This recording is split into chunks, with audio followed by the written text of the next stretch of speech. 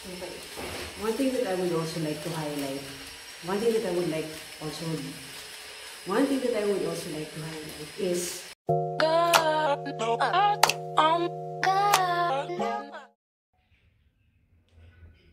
Good morning, everyone. So, as you know, um, I've been doing a lot of DIYs here sa aking little tiny house.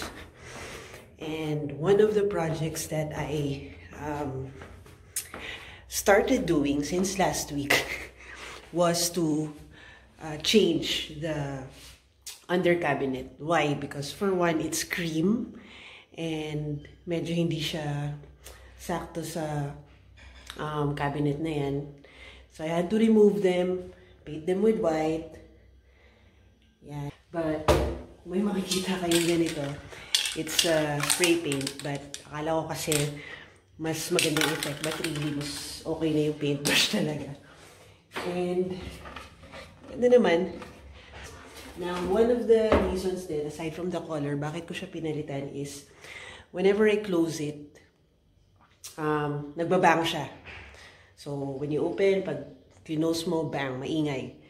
So, I bought this concealed hinges. So that's around 149 pesos sa uh, handyman. So sabi, soft close siya. Uh, when you install it, uh, pag clinose mo, hindi na siya magbabang. But let's see kung uh, totoo nga.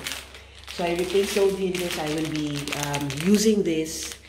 Uh, and let's see kung talagang when you uh, try to close it, medyo mabagal siya sa dulo.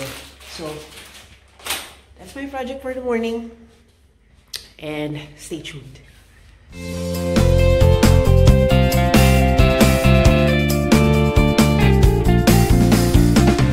so I kind of forget na meron pala akong light fixture that I should be putting in sa hinge. Um, I bought this in Lazada. I think 10 packs, 10 pieces na ganito is around 300 or 400. And maganda siyang fixture so that pagbukas mo ng door, may lights.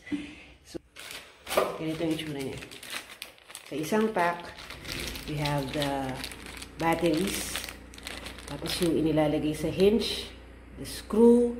But actually, may available screw na yung hinge, so I'm not gonna use this. And then the lights itself. Alright?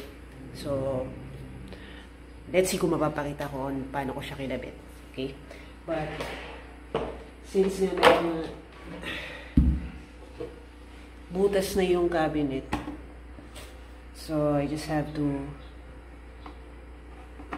insert this one, put in the screws. So, dalawa na to.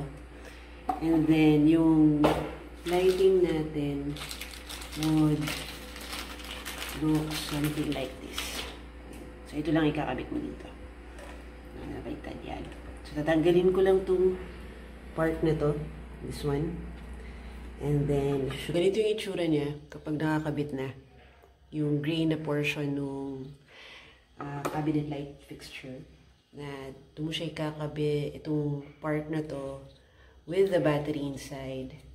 So that once the door closes, naka-off din siya. Kapag nag-open, may light. So this is how it's supposed to look. Okay. Pero mamaya, tingnan niyo yung finished product. So stay tuned.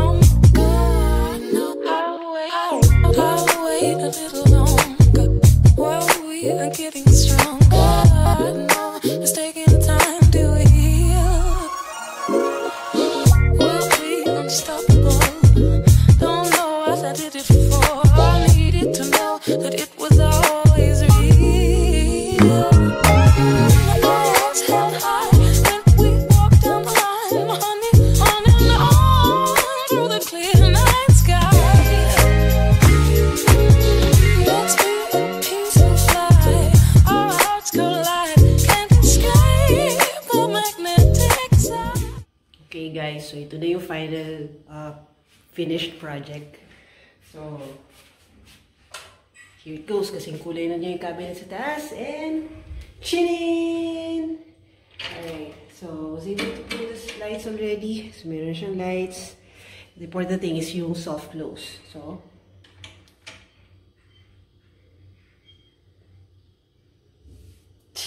See, it's very silent, walang bang. So all in all, the project went successfully. Um, good job ako dito. I am so proud of myself. Yun lang guys. Bye! Girl,